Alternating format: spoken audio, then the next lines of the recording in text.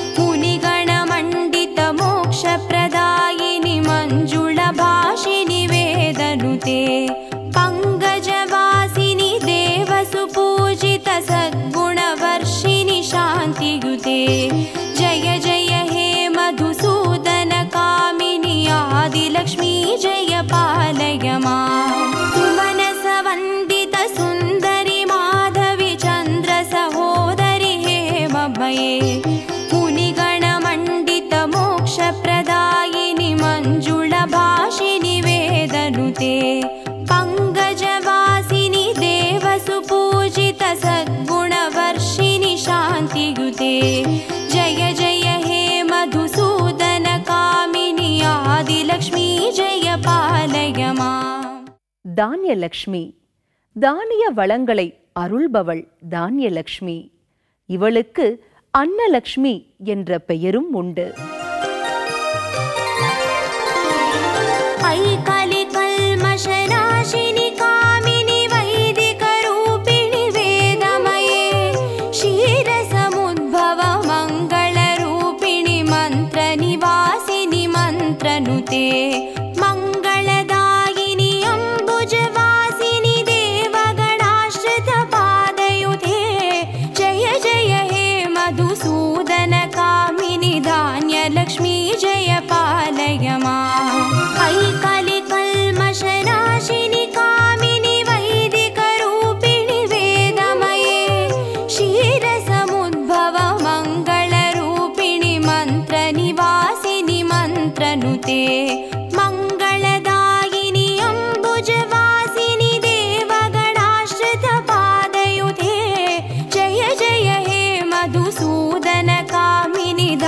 தைரியலக்ஷ்மி ஜெயபாலயமா தைரியலக்ஷ்மி மனதிற்கு தைரியத்தை தருபவள் தைரியலக்ஷ்மி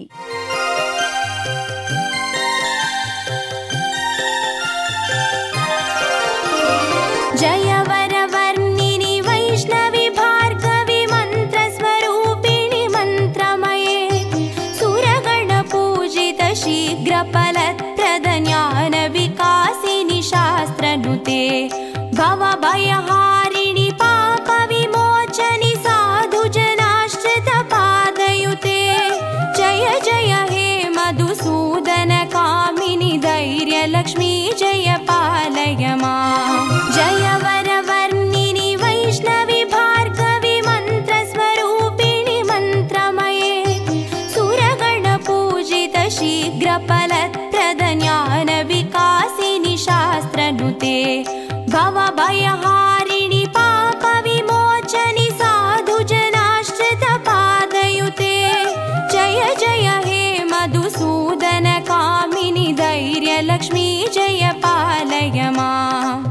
சந்தான லக்ஷ்மி.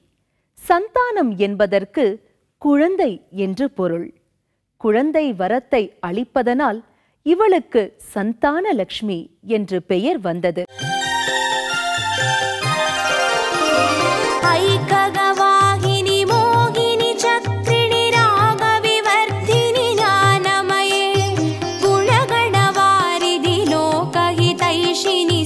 सप्तभूषितगाननुते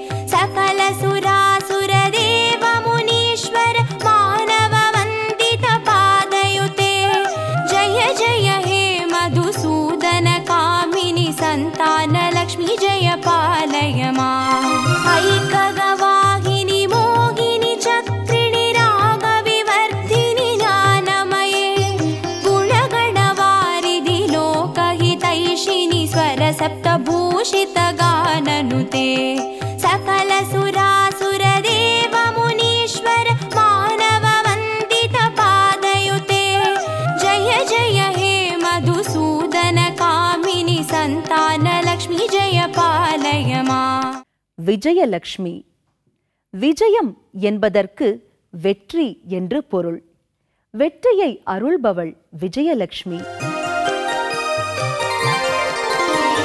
ஜெய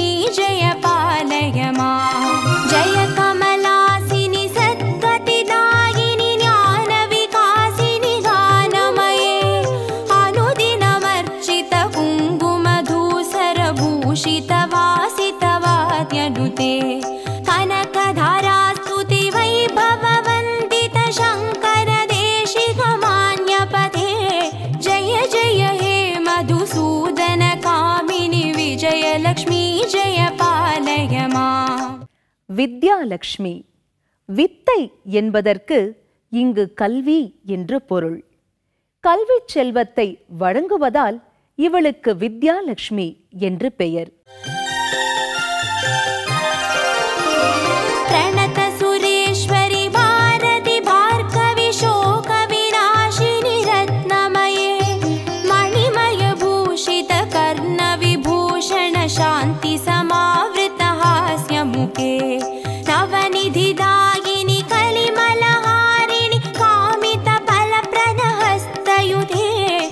जय जय हे मधुसूदन कामिनि विद्यालक्ष्मी जय पार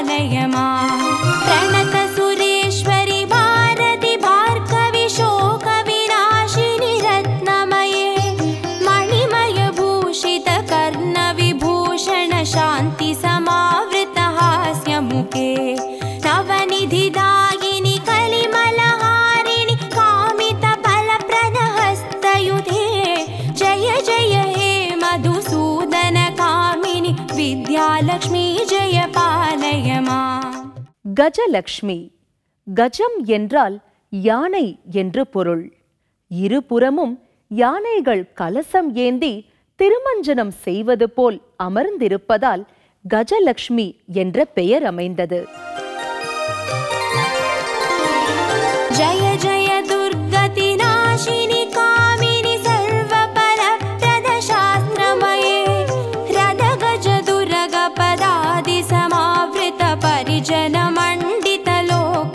Yeah.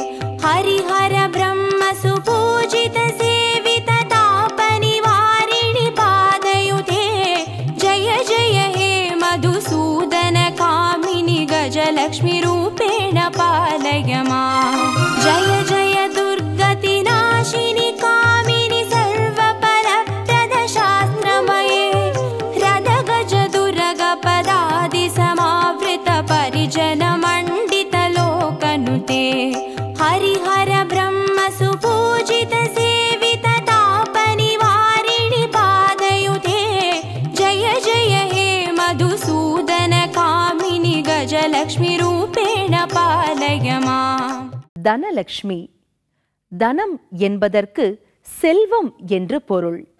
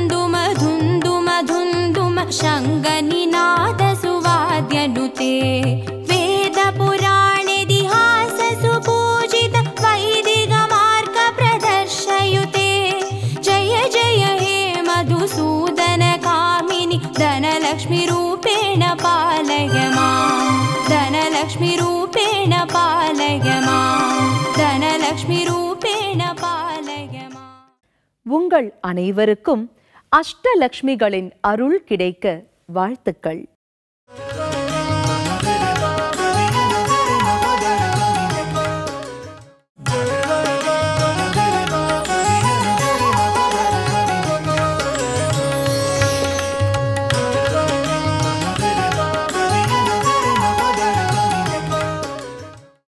வணக்கம் நேர்களே. இந்த இனிய காலை பொழுது உங்கள் இல்லங்களிலும் உள்ளங்களிலும் மகிழ்ச்சியை தென்றலாய் வீசச் செய்யட்டும். இந்நாளை மங்கள இசையுடன் தொடங்குவோம்.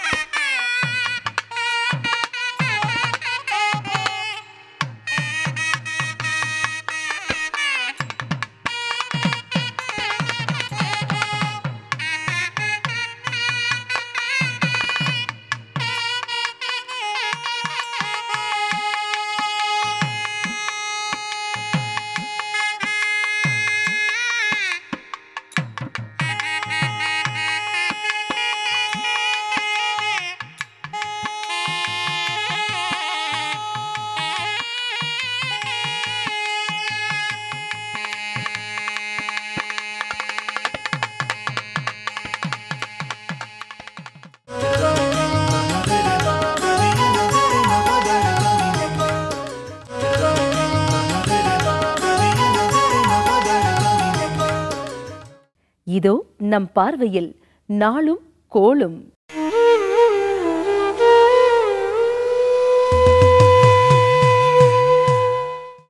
பத்தொன்பது ஐந்து இரண்டாயிரத்தி பதினான்கு. மே மாதம் திங்கட்கிழமை. ஜெய வருடம் வைகாசி மாதம் ஐந்தாம் தேதி. ரஜப் பத்தொன்பதாம் தேதி. காரைக்குடி ஸ்ரீ கொப்புடையம்மன் வெள்ளிக்குதிரை வாகனத்தில் திருவீதி உலா. காஞ்சிபுரம் வரதராஜ பெருமாள் பவனி வரும் காட்சி. சங்கரன் கோவில் ஸ்ரீ கோமதியம்மன் புஷ்ப பாவாடை தரிசனம். நல்ல நேரம் காலை ஆறு முப்பது மணி முதல் ஏழு முப்பது மணி வரை. மாலை நான்கு முப்பது மணி முதல் ஐந்து முப்பது மணி வரை. ராகு காலம் ஏழு முப்பது மணி முதல் ஒன்பது மணி வரை. குளிகை ஒன்று முப்பது மணி முதல் மூன்று மணி வரை. யமகண்டம் பத்து முப்பது மணி முதல் பனிரெண்டு மணி வரை. சந்திராஷ்டமம் மிருகசீரிஷம் திருவாதிரை. இன்று மேல் நோக்கு நாள். சீலமாய் வாழ சீரருள் புரியும் ஞாலம் புகழும் ஞாயிறே போற்றி. சூர்யா போற்றி சுந்தரா போற்றி வீர்யா போற்றி வினைகள் களைவாய்.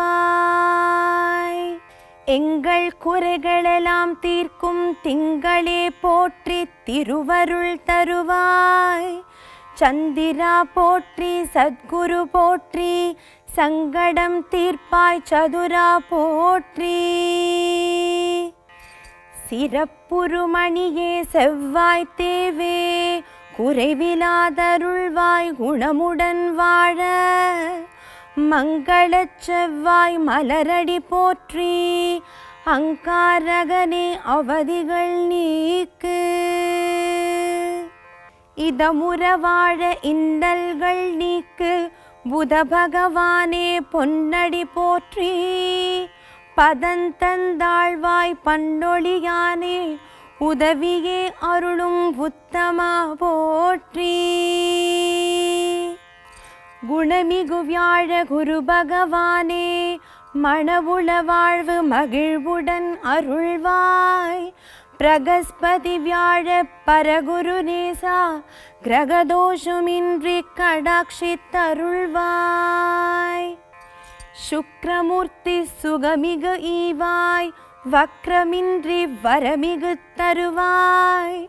வெள்ளி சுக்ர வித்தகவேந்தே வேந்தே அள்ளி கொடுப்பாய் அடியார் கருளே.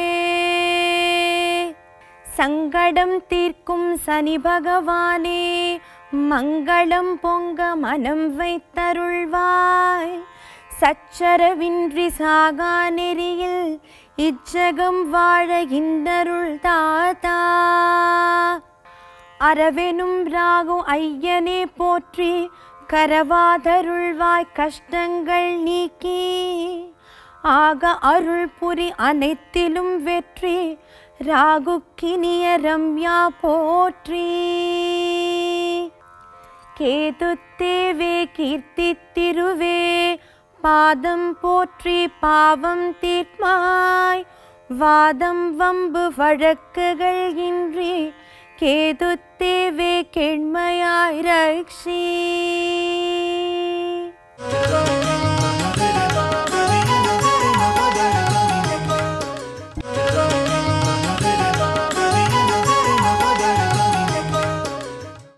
இனி நாம் காணவிருப்பது ஆன்மீக அருள் அமுதம் வணக்கம் ஆன்மீக அருளமுதம் என்ற அழகான தலைப்பை நாம் தேர்வு செய்து கொண்டு திருமூலருடைய திருமந்திரத்திலிருந்து சில அருமையான பணுவல்களை தேர்வு செய்து அவற்றை நான் உங்களுக்கு சில நாட்களாக விளக்கி வருகிறேன். என்னோடு தொடர்பு கொண்டவர்களாகிய நண்பர்கள் அது என்ன? திருமந்திரத்தில் அங்கொன்றும் இங்கொன்றுமாக எடுத்து நீங்கள் தொடங்கி இருக்கிறீர்களே ஒரு வரிசை முறை வேண்டாமா? ஏன் இறைவணக்கம் சொல்லவில்லை? காப்பு பாட்டை பற்றி ஏன் உங்களிடம் இருந்து செய்திகள் வரவில்லை என்றெல்லாம் என்னை கேள்வி கேட்கிறார்கள். நான் இளம்பிள்ளையாக இருந்த காலத்தில் எங்கள் கிராமத்தில் ஒரு பெரியவர் தலையிலே மாம்பழக்கூடையை தூக்கி கொண்டு உறக்க கூவிக்கொண்டு வருவார் மாம்பழம் வாங்கலையோ? மாம்பழம். என்னுடைய அன்னையார் அவனை கூப்பிட்டு திண்ணையிலே இறக்கி வைத்துவிட்டு விலையெல்லாம் பேசி முடித்த பிறகு அவரை பார்த்து கேட்பார் ஏனப்பா புளிக்குமோ? என்று கேட்பார்கள். அவன் பதறிப்போய் என்னம்மா இப்படி கேட்கிறீர்கள்?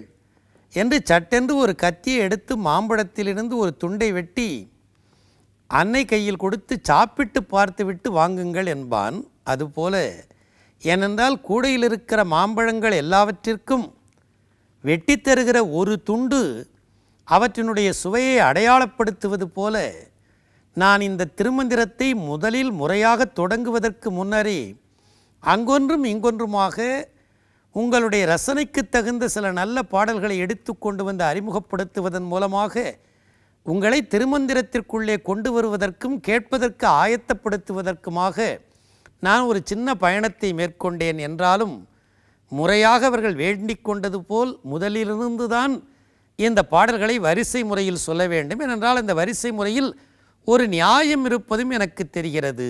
அந்த வகையில் பார்த்தால் திருமந்திரத்தின் தொடக்கத்தில் ஒரு காப்பு செய்யுள் விநாயகப் பெருமானுடைய வணக்கமாக அமைந்திருக்கிறது. இது ஒரு அருமையான பாட்டு இந்த பாட்டு. விநாயகர் என்பவர் இந்திய தத்துவ சிந்தனையில் இந்து மதத்தைச் சேர்ந்த எல்லா உட்பிரிவுகளில் சேர்ந்தவர்களாலும் வழிபடப்படுகிற யானை வடிவத்தோடு இருக்கிற ஒரு கடவுள். அது என்ன? யானையை போய் கையெடுத்து கும்பிடுகிறீர்கள் கடவுளாக வைத்திருக்கிறீர்கள் என்று வளர்ந்த பிள்ளைகள் கல்லூரியில் படிக்கிற பிள்ளைகள் கொஞ்சமாக படிக்கிற குழந்தைகள் முதற்கொண்டு என்னிடம் கேள்வி கேட்டிருக்கிறார்கள். அது ஒன்றும் பெரிய செய்தி இல்லை. விநாயகருடைய வடிவத்தை நீங்கள் உற்று பார்த்தால் மனிதன் எப்பொழுது கடவுளாகலாம் என்கிற கேள்விக்கு அதில் விடை இருக்கிறது. எப்படின்னா இப்போது ஒரு யானை இருக்கிறது. நாம் பார்க்கிற யானை கோயில் யானை பெரும் வலிமை படைத்தது. அதை அடக்கி ஆள வேண்டும்னா பக்கத்தில் ஒரு இரும்பு அங்குசத்தை வைத்துக்கொண்டு ஒரு பாகன் நிற்பார். ஆற்றல் மிக்க குதிரை இருக்கிறது. அதை நெறிப்படுத்த வேண்டுமென்றால் சாட்டையை வைத்துக்கொண்டு பக்கத்திலே குதிரை ஓட்டி ஒருவன் நிற்பான். அப்போது நிஜமான யானையிலும் நிஜமான குதிரையிலும் ஆற்றல் ஓரிடம் அதனை அடக்குவது இன்னொருவருடைய கையில் இருக்கிறது. ஆனால் நாம் வழிபடுகிற விநாயகக் கடவுளை நீங்கள் உற்று பார்த்தால் யானை வடிவம் இருக்கும். அதனுடைய நான்கு கையில் ஒரு கையில் பாகன் கையில் இருக்கிற அங்குசம் இவன் கை இதனுடைய கையிலேயே இருக்கும். பாசன் கையில் இருக்கிற கயிறும் இதனுடைய கையிலேயே இருக்கும். என்ன பொருள்? என்று கேட்டால் ஆற்றலும் இருக்கிறது. ஆற்றலை ஆற்றல் மிக்கவர்களாக இருப்பவரை அடக்கி ஆளுகிற திறம் இன்னொருவரிடம் இல்லாமல் ஆற்றல் கொண்டவர்கள் தேவைப்படுகிற நேரத்தில் தங்களை தாங்களே அடக்கி கொள்ளுகிற வலிமையும் எவனிடம் இருக்கிறதோ அவன் இறைவனாக உயர்கிறார். அப்போது ஒரு பொருள் வலிமை உடையதாகவும் ஒரு எல்லை கிடக்கிற நேரத்தில் அந்த வலிமையை இன்னொருவருடைய துணையில்லாது தாங்களே தங்களுடைய மன வலிமையால் கட்டுப்படுத்தி கொள்ளுகிற திறமுடையவர்கள் இறைமை. எனவே அப்படிப்பட்ட இறைவனாக நம்மாலே வழிபடப்படுகிற கணபதிக்கு ஒரு காப்பு சொல்லி தொடங்குகிறது இந்த திருமந்திரம் ஐந்து கரத்தனை. அவன் ஐந்து கை உடையவன் நான்கு கைகளோடு துதிக்கையையும் சேர்த்தால் ஐந்து கரத்தனை. எப்படி இருப்பான்? ஆனை முகத்தனை யானையினுடைய முகம் கொண்டவனாக இருப்பான். பக்கத்தில் பார்த்தால் ரெண்டு கொம்புகளில் ஒரு கொம்பு இருக்கும். ஒரு கொம்பை ஒடித்து அவன் மகாபாரதத்தை ஒரு நேரத்திலே இமய நெற்றியில் எழுதினான்னு வெள்ளிபுத்தூர் ஆழ்வார் சொல்லி காட்டுகிறார். இந்தின் இளம்பிறை போலும் எயிற்றனை இந்து என்பது சந்திரன். அதனுடைய இளம்பிறை மூன்றாம் பிறை எப்படி இருக்குமோ அது மாதிரி இருக்கும். வாயிலிருந்து வளைந்து வருவதாக இருக்கிற அந்த சடை இந்தின் இளம்பிறை போலும் எயிற்றணி அப்படிப்பட்டதாகிய கொம்பையுடைய பெருமானை யாரவன்? நந்தி மகந்தனை சிவபெருமான் பெற்றெடுத்த மூத்த பிள்ளையாக இருக்கிற அந்த பெருமானை என்ன செய்வேன்? வணங்குவேன்னு சொல்லலை.